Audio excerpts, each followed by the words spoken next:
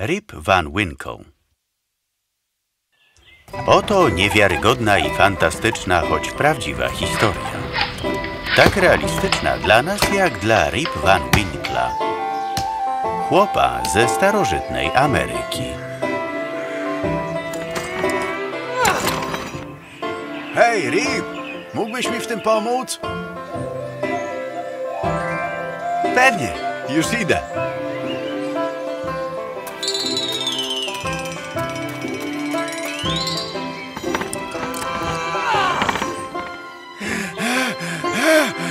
Dzięki, stary!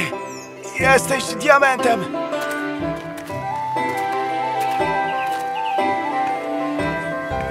Dokładnie mógłby być diamentem. Wylegiwał się całymi dniami na słońcu, świecił i kompletnie nic nie robił.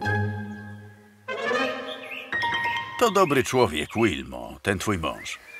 Ryb, skoro przyszedłeś pomóc Henry'emu, to może pomógłbyś mi też ogarnąć milion rzeczy, które muszę zrobić na farmie?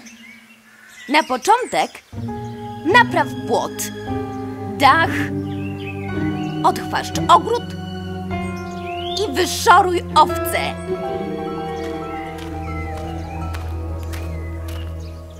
O! To wszystko dzisiaj? Wszystko dzisiaj! Przed lunchem!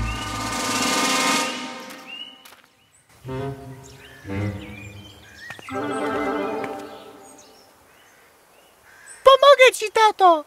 Nie, idź i pobaw się. Zobacz, co ci wczoraj zrobiłem.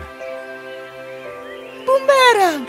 Dzięki, tato! Pokażę go moim kolegom. Wszyscy przyjdą.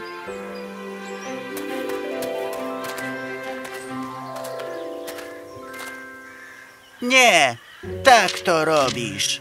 Nie, biegnij i zrzuć to w ten sposób. Nie tak. Źle tym rzucasz. Co się dzieje, dzieci? Próbujecie puścić latawca? Twoje latawce są złe. Nie latają. O, będą latać, jeśli wiesz, jak je zrobić. Chodź, pokażę ci. Rip był zajęty uczeniem dzieci, jak latać latawcem i spędził najlepszy czas w swoim życiu. Zrobił im nawet nowe latawce. Pięknie latały. Gdy dzieci znudziły się latawcem, wszystkie zaczęły się bawić bumerangiem.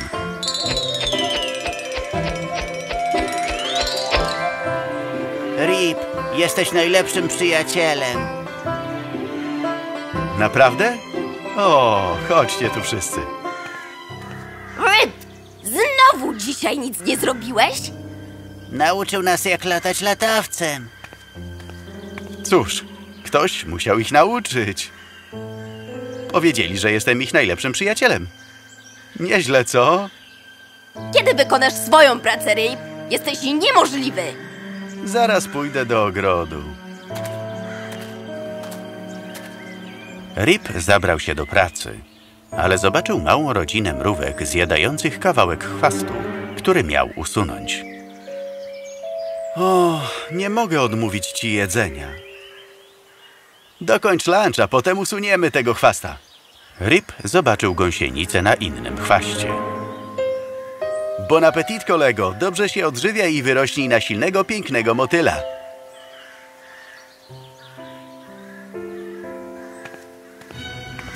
Ryb, dlaczego nie pracujesz? Dobra, pora na nas. Komu w drogę, temu czas, prawda, Wolf? Rip zabrał psa Wolfa do swojego ulubionego miejsca na całym świecie. Do lasu w górach Catskill. Wybrał swoje ulubione miejsce nad jeziorem i położył się w chłodnym cieniu drzewa, ciesząc się bryzą, czystym, błękitnym niebem, złotym odcieniem słońca, obserwując ptaki i pszczoły. Świat jest taki piękny, Wolfie. Stwórca wykonał naprawdę cudowną robotę, łącząc wszystkie te kolory i tekstury. Ach, chciałbym, żeby kiedyś Wilma mogła się tym cieszyć. Pracuje zbyt ciężko. To dlatego, że jest jedyną, która pracuje.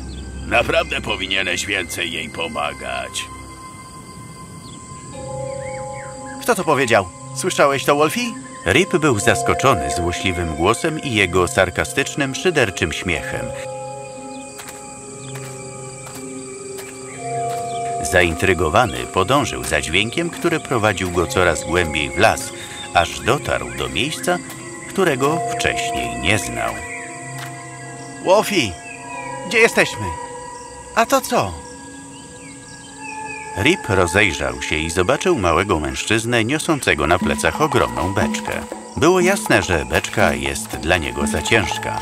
Dobroduszny Rip natychmiast przyszedł mu z pomocą. Hej, ser, pozwól, że ci pomogę.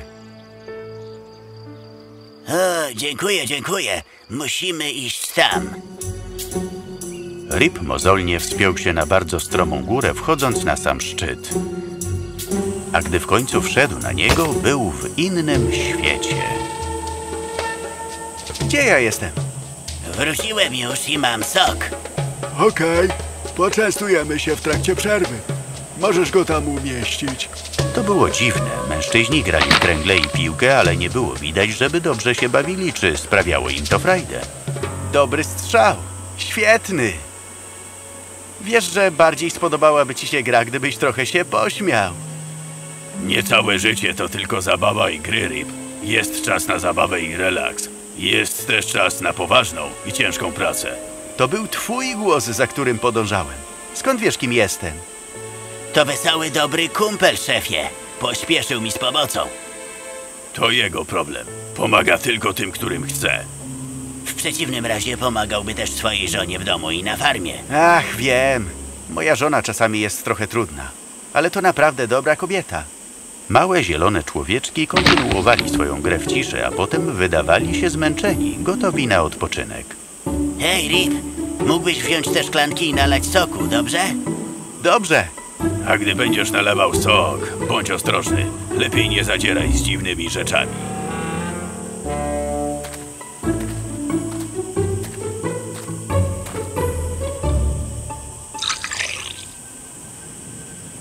Opowiedzcie mi o sobie. Kim jesteście? A dlaczego jesteście tacy poważni?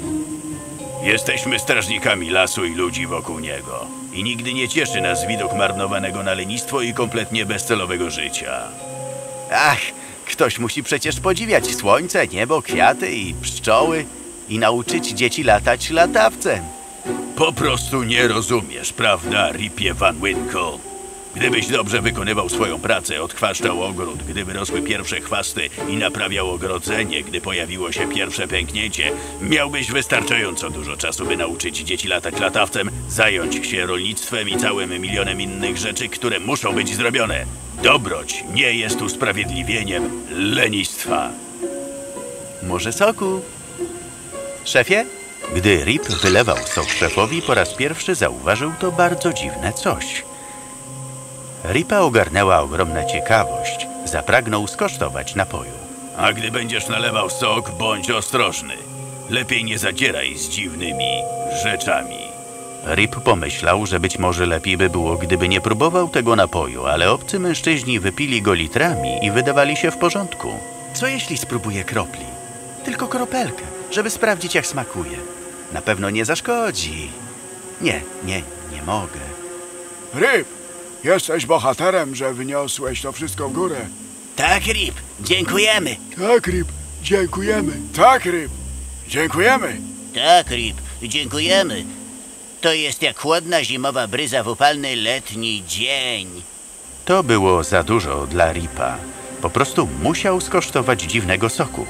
Nalał trochę na dłoń. Szef go widział, ale nic nie powiedział. Rip napił się. Cóż, ostrzegłem cię.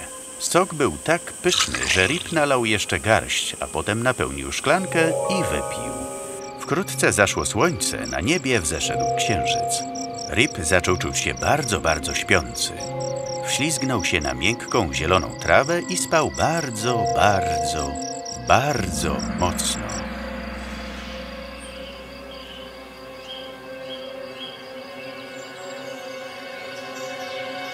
O! Wow! Cóż to był za dzień? Słońce jest wysoko, przespałem tu całą noc? Wilma będzie wściekła. Och, chodź, Wolfie. Wolf, Wolf!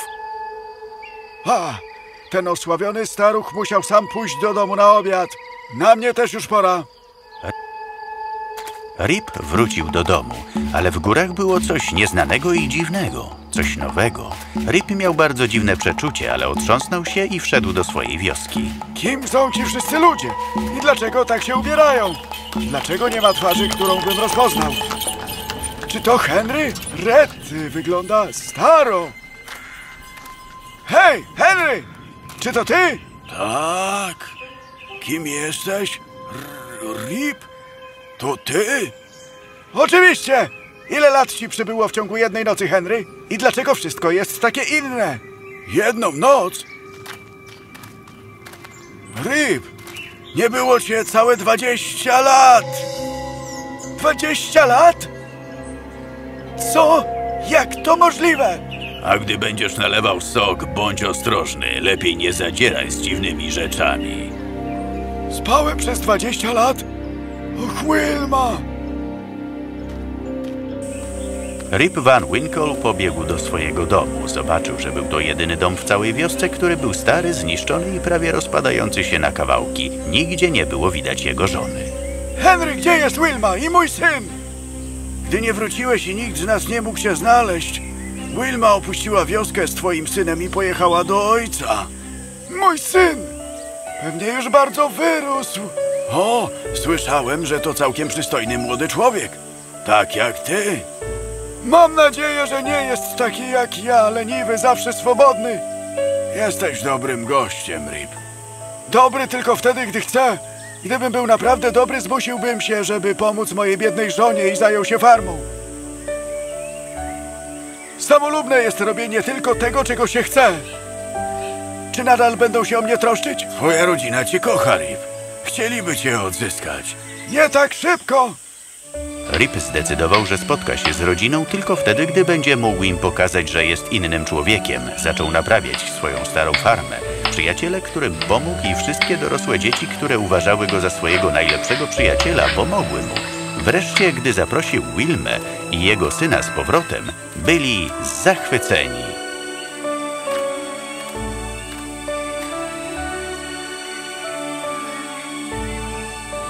Przepraszam, Wilmo. Synu, moje lenistwo kosztowało nas całe 20 lat bycia razem. Tak mi przykro. Cóż, Rip w końcu miał szczęśliwą rodzinę. Jeśli odwiedzisz Ripa Van Winkle w pogodną księżycową noc, zobaczysz go otoczonego dziećmi, które niestrudzenie słuchają opowieści o tym, co wydarzyło się tej dziwnej nocy w lesie na szczycie dziwnych gór Catskill. Historia Ripa zawsze kończyła się tak. Nie bądźcie jak ja, dzieciaki. Wykonujcie obowiązki, czy chce się wam, czy nie. Pamiętajcie, że nie ma usprawiedliwienia dla lenistwa.